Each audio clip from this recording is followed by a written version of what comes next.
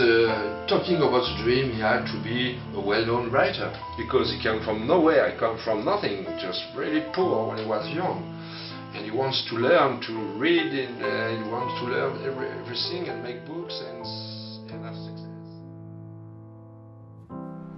From out of the fog came the mournful tolling of a bell, and I could see the pilot turning the wheel with great rapidity.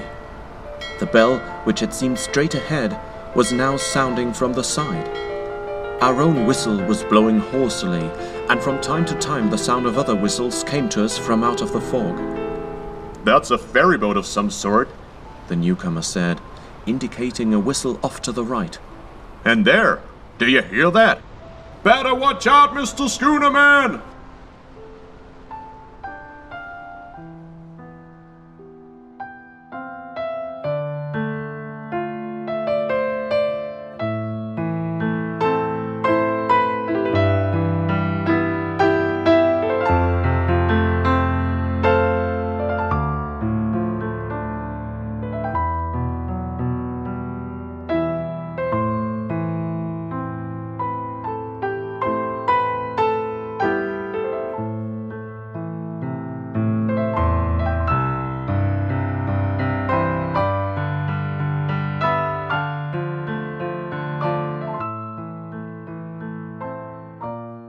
We are here in the interview with Noel Mauberret, also the president of the Jack London Society in the United States here in France. So uh, let's talk about the sea travels of Jack London. About his, let's start with his first boat, uh, with the Razzle Dazzle.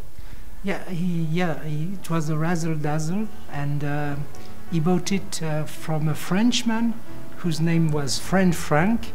And uh, when he bought it, after that, he became uh, the, the boss of the of the pirates, oyster pirates on the on San Francisco Bay. And then, uh, uh, well, he became uh, he became a, a very bad guy, as, as we can say.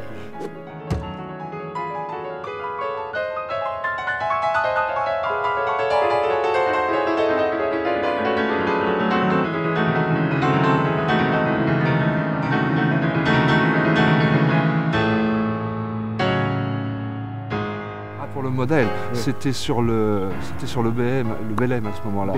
Oui, et c'était le commandant Morzadek. Mais c'est pas lui qui va s'occuper de ce bateau euh, la prochaine fois, j'ai entendu, c'est un autre capitaine qui, qui a aussi navigué sur le Belém.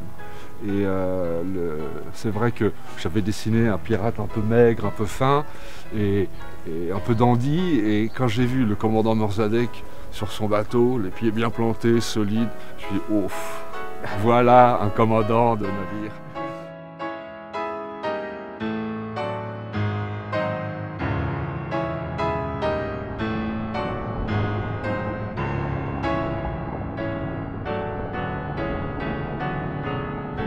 Mensonge, et lui, il faudrait que ça- ces mensonges soient une réalité. Donc on est tout à fait à l'opposé et en même temps on, est- on on s'admire tous les deux. Et donc du coup, moi ce que j'ai bien aimé, c'est les bouquins de Baudrillo sur justement, comment ça s'appelle ça, les modèles historiques. Modèles historiques. Et- Sometimes I try new paper to change, but uh, this one is really good for black and white, for inking, and seems to be pretty good for that pencil. But I buy some with less um, texture. Yeah. Tu vois que j'étais en train de finir une image et j'ai- il y avait mon copain allemand qui est en train de filmer parce qu'il va préparer, je sais pas, un DVD euh, sur.